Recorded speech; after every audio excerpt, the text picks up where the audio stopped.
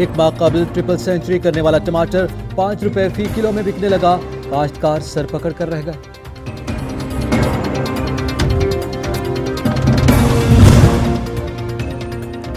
اسکردو جاتے ہوئے کوچ دریا میں گرنے کا واقعہ۔ ڈوبنے والے مسافروں کی تلاش کے لیے ریسکیو آپریشن۔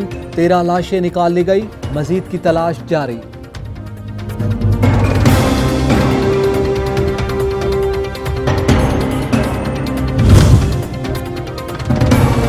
قصور میں مٹی اٹھانے والے مٹی تلے دب گئے۔ ایک ہی خاندان کے تین افراد جاں بحق دو کمسن بیٹیاں اور ماں شامل باپ زخمی ہو گیا۔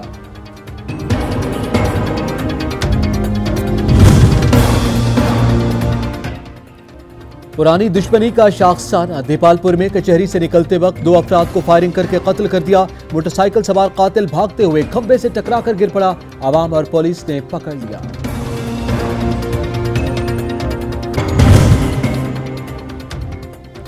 پھول نگر میں آبارہ کتوں کی بھرمار، کتے کے کاٹنے سے ایک اور نوجوان موت کے منہ میں چلا گیا۔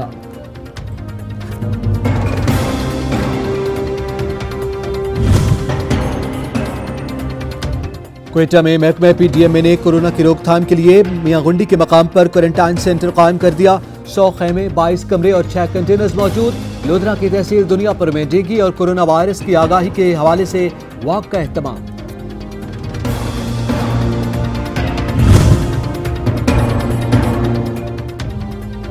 ملک کو سرسبز و شاداب بنانے کا مشن لیا میں ہر بشر دو شجر کے سلوگن کے تحت شجرکاری مہم کا آغاز سول سوسائٹی اور مختلف شعبہ زندگی سے تعلق رکھنے والے افراد کی شرکت۔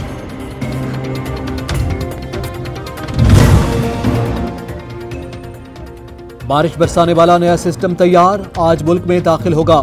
بیشتر علاقوں میں بدھ سے جمعہ تک بارشیں ہوں گی۔ محکمہ موسمیات کی پیش گوئی خیبر پختونخوا میں لینڈ سلائیڈنگ کا خدشہ، الرٹ جاری۔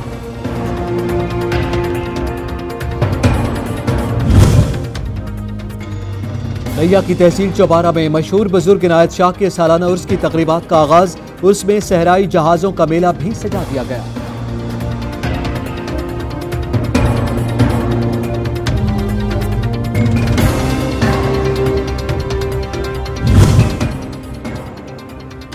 گجروالا میں تاریخی ورثہ برقرار، پانچ سو سال پرانی جامع مسجد شان شوکت آج بھی قائم، بنیاد شیر شاہ سوری نے خود رکھی تھی۔